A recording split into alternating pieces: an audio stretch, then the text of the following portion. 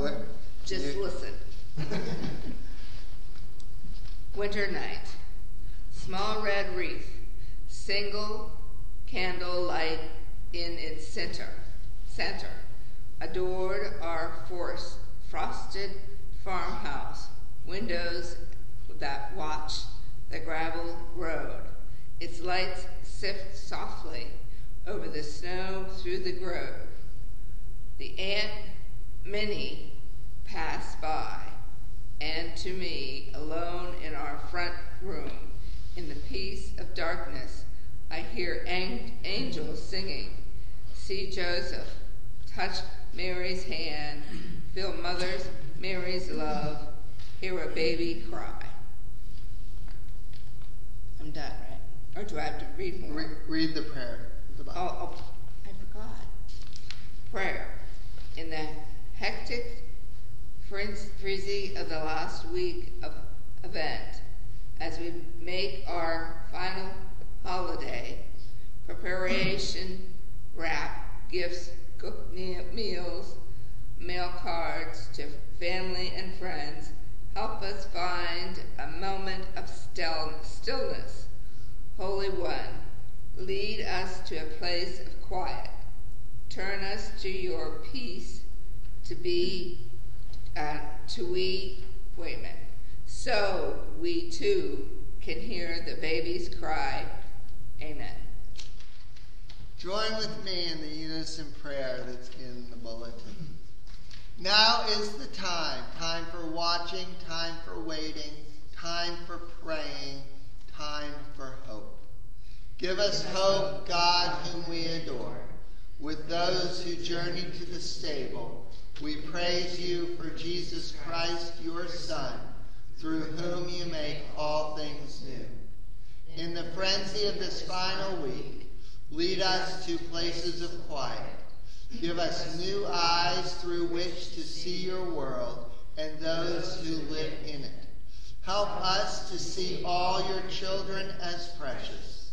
Adjust our eyes to the dark so the hope and future you bring might be as clear as the star announcing Jesus' birth.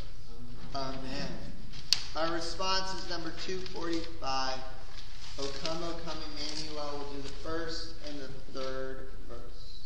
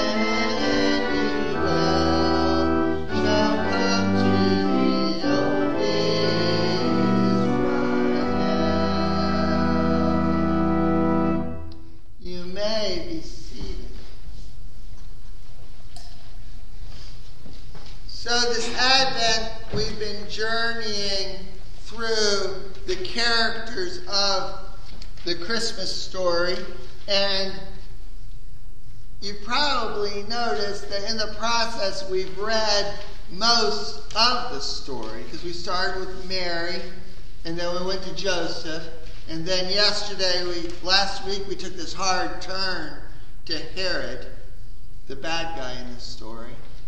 And today we get to the child, to baby Jesus. And I want to throw a question out to you. Question we probably don't think about too much because we're, we're used to the story. We've been hearing it our entire lives. We sort of take it for granted that when God came to earth, God came as a child because that's how the story goes. My question is why? Why did God come as a child?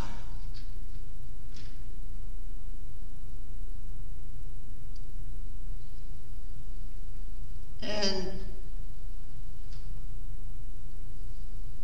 to kind of lead you down a path, instead of reading the, the Christmas story, I feel it's premature to read the Christmas story. We got to wait till Saturday afternoon to read the Christmas story. I'm going to read a familiar passage from Luke. It's one of those passages that most of us don't know where it is in the Bible. I honestly couldn't tell you where it is in the Bible, but we all know it because it's one of our favorite scenes of Jesus. Jesus is teaching, and um, in the crowd are a lot of parents with their children, and the parents began bringing their children forward, pressing in on Jesus, wanting Jesus to bless their children, to pray over their children and Jesus' disciples doing their job as gatekeepers, saying, No, no, no, no, no, keep your distance, leave Jesus alone. He doesn't need to be blessing all your children. And Jesus rebukes his disciples and says to them, Let the little children come to me and do not stop them. For it is to such as these that the kingdom of God belongs. Truly, I tell you, whoever does not receive the kingdom of God as a little child will never enter. Let the children come because the only way to get into the kingdom that I am building is to come as a child. And then another image I want to give to you.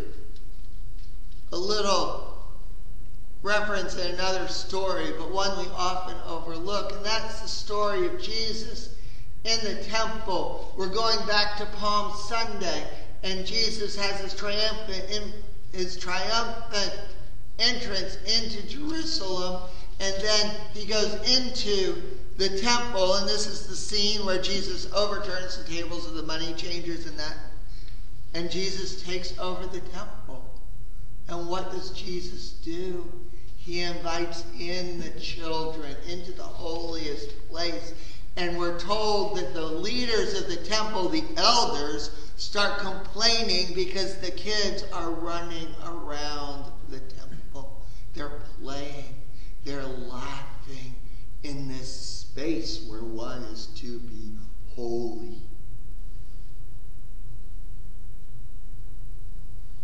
So, why, when God came to earth, did God come as a child?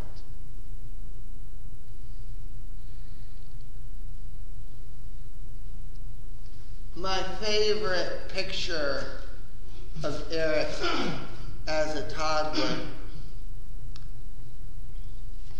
is when he's about 20 months old. It's July, it's a beautiful day. He's in the backyard. The grass is brilliant green under his bare feet. Most of Eric actually is bare. He's only wearing his diaper in the backyard and a flower pot. A green plastic flower pot that he has flipped over and put on his head as. His eyes are sparkling. He's smiling widely as he looks up at the camera. He had somehow managed to escape before um, getting all of his clothes on. We left our back door open most of the time during the summer because it let the dog in and out and it also let the baby in and out, which isn't as wise, but the dog would come and tell us when the baby got out. So it all worked fairly well. And Eric had gotten out and he found this um, this flower pot and picked it up and he's like, What is this? Is it a toy? No, no, not really. Is it a bucket to be used to carry dirt and gravel? No, maybe. It could, no, it's a hat. It's a hat. And that freedom, freedom children have, I miss those days when I had this child who was exploring everything for the first time and got this glimpse of this world through his eyes, and unlike my eyes, because I saw the flower pot and I had guilt. Not fun. I mean, why did Eric find that flower pot lying around? Because it had been lying around the backyard since we planted whatever was in it four months ago. I don't know about you guys, but we don't always get everything picked up. And that flower pot had been kicked and stepped over and thrown in a corner and everything but picked up. And usually, you know, you trip over the flower pot, you utter a, a small curse or something, but you don't stop and pick it up. And it becomes this object of guilt lying there. And then a child comes along and it's a toy, it's a hat. If only we could regain that wonder, the beauty, the fascination, the freedom of being children again. Nobody expected God to come as a baby. Nobody.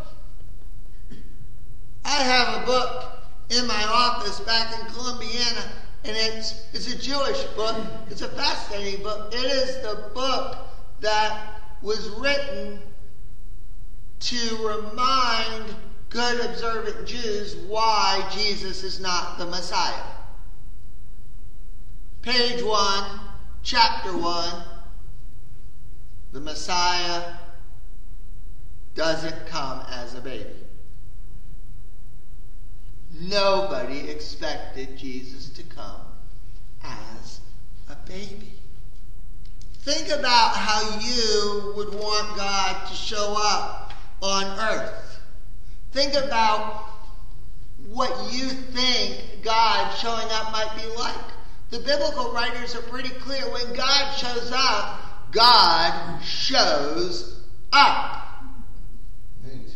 So, yeah, ninja. So, yeah, I don't know if that's what you said. That's what I heard. A ninja. Psalm 18 makes this pretty clear, and I have to say, I'm about to kind of rip it to shreds, but this is my favorite psalm. I love Psalm 18. It's a psalm of David. David's on the battlefield. His life is in danger, and he experiences God showing up. And this is how he describes it. This is how God shows up. David starts by setting the stage. In my distress, he says, I called upon the Lord. To my God, I cried for help. From God's temple, God heard my voice. My cry to God reached divine ears. This is what happens. This is how God is supposed to show up. Then the earth reeled and rocked. The foundations of the mountain trembled and quaked. Why? God was angry on my behalf. Smoke goes up from God's nostrils.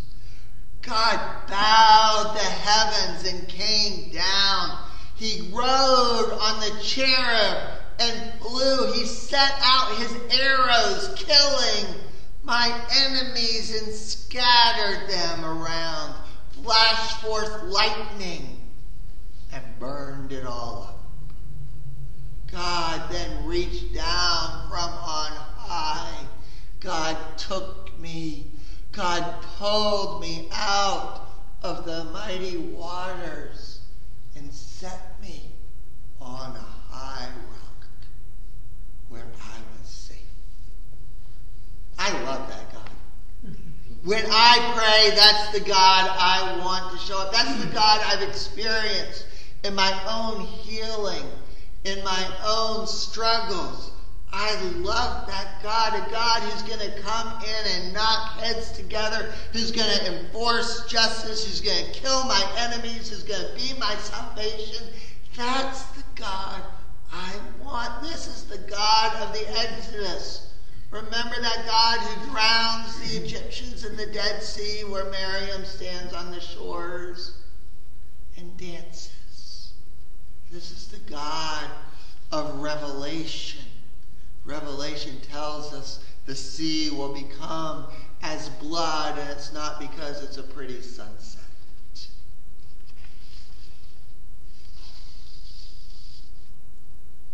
This is the God, the powerful, the mighty God that we yearn for and long for. So different than the God of the manger, the stable. This God who comes into the world and no mountains quake, no arrows fly. The lightning stays up in the clouds where it belongs. No bad guys die. In fact, as we explored last week, the bad guys are very much alive and doing bad things. No governments fall. It's just an ordinary night, an ordinary family, and anything but ordinary baby is born. Helpless, vulnerable, dependent. God.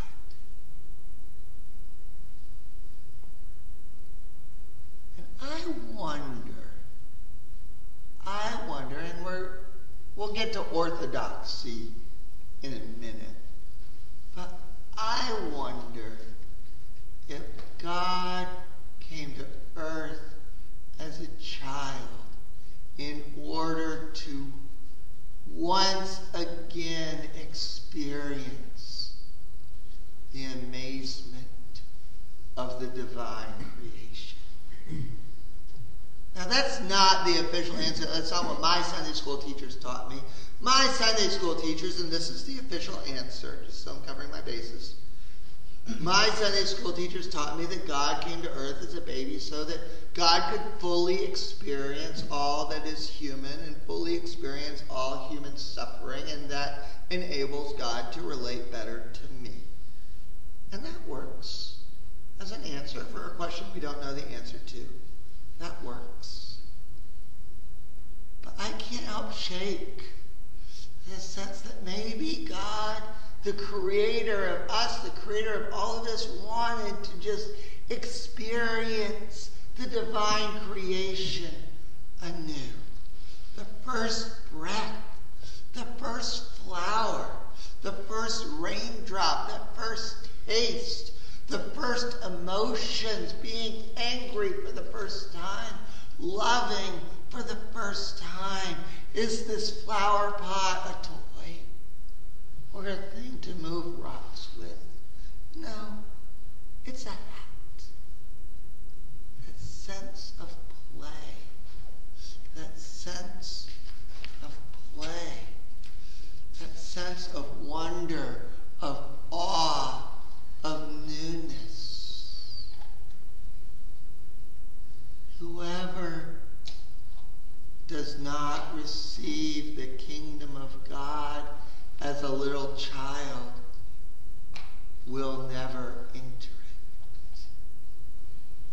That comes from the adult Jesus. The Jesus who has lived 30 odd years, the jaded Jesus, the Jesus who has seen pain and suffering, who's experienced fear, who's experienced the deep scars sin leaves on individuals and on communities. The Jesus who, by this time, has been urged by his disciples and others to be that God who comes in on the cherub, to raise the armies, to try to topple the governments, to spill blood. And this Jesus, this Jesus, instead opens the temple so the children could sing and dance and play in the holiest of holy spaces and would teach his followers to pray, Thy kingdom come, thy will be done on earth as it is in heaven. Not, not when the streets run with blood and our enemies are vanquished, but only when the jaded among us can experience every breath as a miracle. every sunrise is a new beginning. Every raindrop a baptism. Every snowflake a hug. Every neighbor as potential friend sister, brother, mother, father, every neighbor a blessing created by a God who brings life from the dirt and can and does make life anew. To become free, to sing, to laugh, to cry with abandon, to worry less about our daily bread to have faith in those who love us, to find our rest, as the old hymn says, to find our rest leaning on the everlasting arm. So, last Sunday of Advent, as we prepare for Christmas, I want to invite you to pause and see the world again through the eyes of a child. That's what this table up here is about. On this table, we have a mix of everything. We have some Bible verses done in an artistic way. We have some Christmassy objects. We even a little bit of my Christmas tree some things that are handmade, pair of shoes, some food, some cookies, some crafts. As we sing the hymn, What Child Is This? I want to invite you to come and pick an object off the table. It can be anything on the table. And in the time after the hymn, maybe as George gives us some meditating music, I want you to explore the object that you have. See it as if you've seen it for the first time. How does it feel? What does it do? What memories does it evoke? What can you do with it? Can you play with it? I can't play with it, obviously. Um, nothing on this table is valuable. Nothing on this table is. Um, if it's food, can you eat it? Well, obviously you can. How does it taste? How does it smell? What's its texture? What does it say to you? How can you use it to see things anew. We'll spend about five minutes doing that and then go on with the service. I do ask that you bring any, everything that's not food back. I don't want the food back. um, so let's sing. Um, what child is this? You lay to rest, and then either during the hymn or after the hymn, feel free to come up and pick an object from the table. 281. What number? 281. 281.